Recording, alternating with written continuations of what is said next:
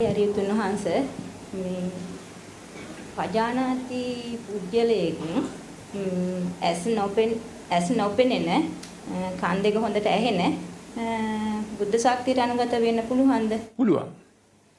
කන් දෙක ඇහෙන්න නම් පජානාති වෙන්න බෑ.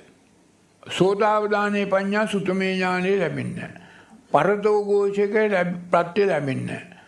සුතං සුසුතං බෞද්ධං සුතදර වෙලා සද්දස්ස කුල පුත්‍රස්ස වෙන්න බෑ.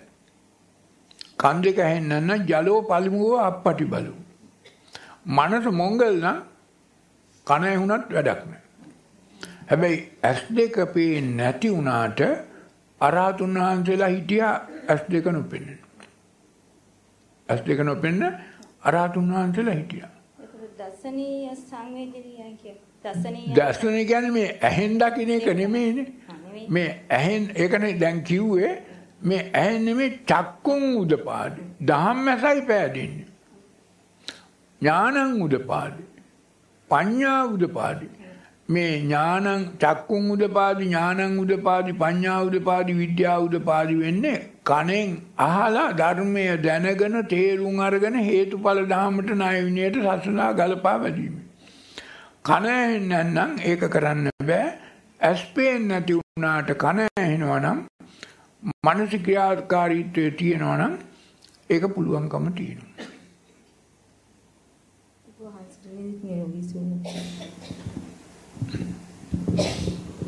වහන්සේට নমස්කාර වේවා. හරිතුන් වහන්සේ මේ කාලය තුල අපි ඉගෙන ගත්තා ගිහියන් වශයෙන් එදිනදා කටයුතු කරන ගමන්ම අපිට රාග, ద్వේෂ, මෝහ ගති ඉවත් කරගෙන කටයුතු කරන ආකාර පිළිබඳව මරණානුස්සති, බුද්ධානුස්සති ආදිය වඩන හැටි අපි දැනගත්තා. දැන් මේ කටයුතු කරන අතරතුර අපිට සාමාන්‍යයෙන් රාත්‍රී නිින්දට යන්න ඉස්සෙල්ලා වගේ විවේක කාල සීමාවල වල මෙවැනි විශේෂ සිදුවීම් සිදු නොවන අවස්ථාවක සිත නිදහස්ව පවතින අවස්ථාව ගත කිරීම සඳහා ඒ ගත කරන අවස්ථාවේදී කටයුතු කළ යුත්තේ කෙසේද කියලා මඟ පෙන්වීමක් කරනවා නම් හොඳයි. මොකද්ද මට ප්‍රශ්නේ පොඩ්ඩක් නැවත කිව්වොත් හොඳයි ප්‍රශ්නේ ටිකක් පැහැදිලි මදි. සාහිණාංශ දැන් මට ඇති වෙලා තියෙන්නේ දැන් අපි එදිනදා කටයුතු කරන ගමන් රාග, ද්වේෂ, මෝහ ගති යම් යම් සිදුවීම් ඔස්සේ සිදුවෙනකොට අපිට භාවනාවන් කරගෙන යටපත් කරගන්න පුළුවන්කම තියෙනවා. තියෙනවා. නමුත් විවේකීව ගත කරන යම් යම් අවස්ථා තියෙනවා. මේක මහත්යෝ එහෙමයි. දවසේ පැය 24 තුල දැඩි නිින්ද ඇර අනික් පැය සියලු ගණන් වලම සතර කමටහන් නොකඩවා අකන්නව අජින්දව කරන්න ඕන. එතකොට ඔය දැන් සමහර විට දවාලට කාලා පොඩි විවේකයක් ගන්න පුළුවන් රැයට කාලා විවේකයක් ගන්න පුළුවන් ඒ වෙලාවෙත් මේක කරන්න ඕන. එහෙමයි. ගච්ඡන්නෝවා ටිතෝවා සයනෝවා නිසින්නෝවා. ඉරියව් හතරම. ඊට පස්සේ සම්පජඤ්ඤ පබ්බේ කියනවා දවසේ කරන පැය 24 තුල කරන සියලු ක්‍රියාකාරකම් අලෝකිතෝ විලෝකිතේ සමිජ්ජිතේ පසද්දේ කැසිකිලි යනකොට වැසිකිලි යනකොට තව කනකොට බොනකොට යනකොට එනකොට නිදා ගන්නකොට නිකන් ඉන්නකොට අරිය තුන්හි භාවයක්. නිකම්ම ඉන්නකොට. ඒත් හිතට යම් වැරදි අරමුණක් අකුසල් අරමුණක් ආවනම් අයින් කරන්න සතර කමටහන් කරලා යහපත් අරමුණ ගන්න. ඒකයි. එතකොට මේ සතර කමටහන් ඔය ඔබ කියන විදිහේ දවසේ පැය කීපයක් අපි රැයට කාලා පැය භාගයක් නිකන් ඉන්නවා කියන එක හරි නෑ. දැන් අද කරන්නේ ප්‍රායෝගික වශයෙන් මිනිස්සු රැයට හොඳට කාලා ඔක්කොම ඉවරයි දැන් කවුරුත් රේඩියෝ රූපවාහිනිය දැම්මා බලා හිටියා. අන්න විවේක ගන්නවා. හැබැයි මෙතෙන්දී දැන් රූපවාහිනිය බැලුවට වරදක් නෑ. හැබැයි මේ රූපවාහිනිය දෙක දෙන එන ප්‍රවෘත්තියක් හෝ පින්තූරයක් හෝ ටෙලිනාට්‍යයක් හෝ මොකක් හරි බලලා ඒ පුද්ගලයා එතන හිත කිරුටු කරගන්නවා. එහෙමයි. මොකද මේ ටෙලිනාට්‍යයේ තියෙනවා වීරයෙක් සහ දුෂ්ටයෙක්. එහෙමයි. කිරුටු කරගන්නේ ඕකෙන්. එහෙමයි. ඒවා රූපවාහිනිය ඔහෙ ගියාවේ. අපි මේවා දැනගන්න ඕන මේවත් මේ නිච්ච කරගන්න සුඛ කරගන්න හොඳ නෑ මේවත් අනිත්‍යං දුක්ඛං විපරිණාම ධම්මං මේවා මේ මවලා පෙන්නපු බොරු. මේවා සත්‍ය කතා නෙමෙයි. බැලුවට කමන්නේ තමන්ගේ හිත කිලුටු කරගන්න එපා. ඒ හැම අවස්ථාවකම මේ විතක්ක ਵਿਚාර පවත්වන්න එපා. නෙක්කම්ම සවිතක්ක සවිචාර, අව්‍යාපාද සවිතක්ක සවිචාර, විහිංසා සවිතක්ක සවිචාර වඩලා ඒකෙන් මිදෙන්න. එතකොට සතර කමටහන් වැඩෙනවා ඔබේ හිත කිලුටු වෙන එක නවත්වෙනවා. හිත පිරිසිදුව තබා ගන්නවා. මෙත්තා කරුණා මුදිතා උපේක්ඛා හැම වෙලේම වඩන්න. එච්චරයි. අවබෝධුණා ස්වාමීන් වහන්සේ තවත් කාරණයක් දැනගැනීමට අවශ්‍යයි. දැන් ඔබ වහන්සේගෙන් දැනගන්න ලැබුණා මේ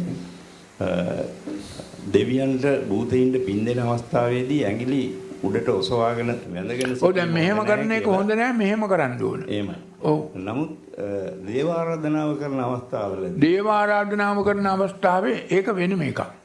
ඒක ආරාධනාවක්. එහෙමයි. ඒක ආරාධනාව වචනෙන් කරන්නේ. එහෙමයි. සමන්තා චක්ක වාලේසු මේ සමත්ත චක්‍රාවාටියේම අත්‍රා ගච්ඡන්තු දේවතා. ඒ මෙහෙ ගමන් කරන සියලු දේ සද්දම්මං මුනි රාජස්ස සුනන්තු සග්ගමුංග.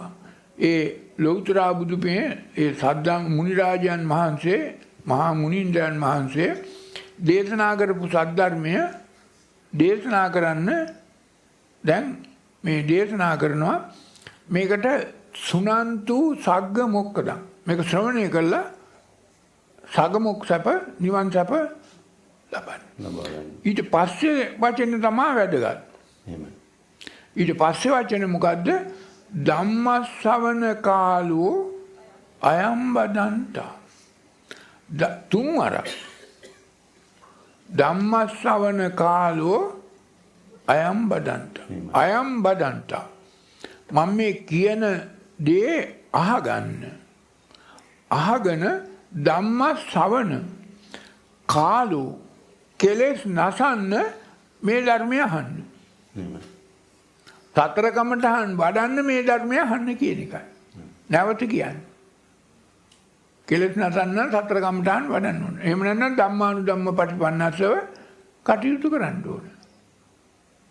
එතකොට මේ කාලෝ කිව්වේ දැන් අද වෙනකොට පරිවර්තනය කරලා තියෙන්නේ මේ දහම් ශ්‍රවණය කරන්න කාලයයි මේකට හමන් දෙන්න කියලා. මේ මාගදී භාෂාවේ කාලෝ කියන වචනේ යම් කිසි තැනක තියෙනවා නම් සූත්‍ර හැම එකකම තියෙනවා. කාලෝ කාලාමා කාලේන කාලං අකාලිකෝ මේ වගේ කාල වචන.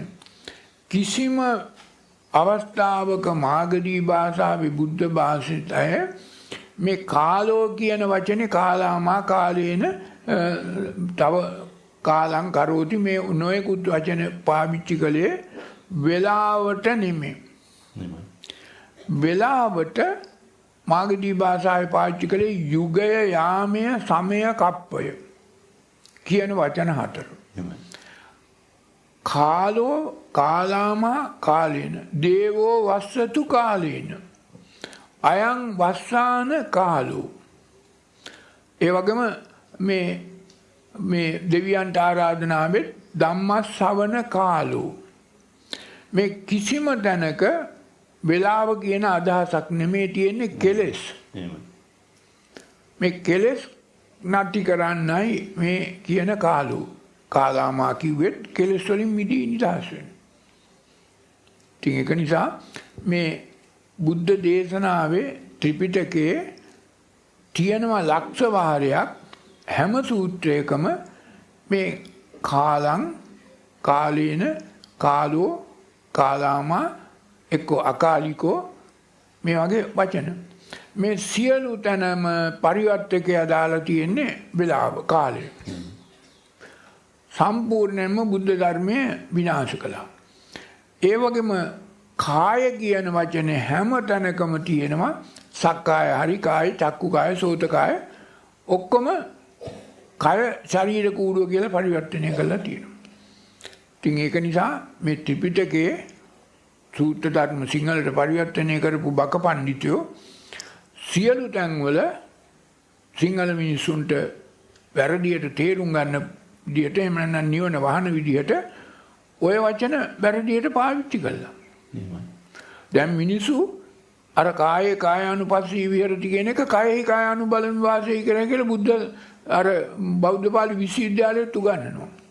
අර මහාචාර්යවරයාත් කියන්නේ කයෙහි කායානුබලී වාස කරන්නේ එතකොට මඟපල් ලබනවා කියලා. නමුත් මේකේ තියෙන්නේ කාය. කාය කියන එක මේ ක්‍රියාකාරකම. ශරීර කූඩුව නෙමෙයි. ශරීර කූඩුව මේ රූප කාය. මේ තියෙන්නේ මනෝ කාය. මේ තියෙන්නේ වේදනා සංඥා චේතනා පස්ස මනසිකාර කියන කාය. ඒක නිසා මේවා හොඳට තේරුම් ගන්න නැතුව මේවා පරිවර්තනය කරලා ඔක්කොම සිංහල මිනිස්සු දැන් ඔය උගන්වන්නේ ඉගෙන ගන්න පිරිවෙන් වල හාමුදුරුවොත් බෞද්ධ පාලි විශ්වවිද්‍යාලයේ බුද්ධ ශ්‍රාවක ධර්ම පීඨයේ පිරිවෙන් වල හැම තැනම අර සිංහල පරිවර්තනය කරපු වැරදි වචන තමයි ත්‍රිපිටකයේ තමයි ඒක බුද්ධ දේශනාව විකෘති කළා විනාශ කළා නැති කළා තියෙනවා. නිවන් දකින්න මඟ වහලා. වහන්සේට නිරෝගී සුවය දීර්ඝායු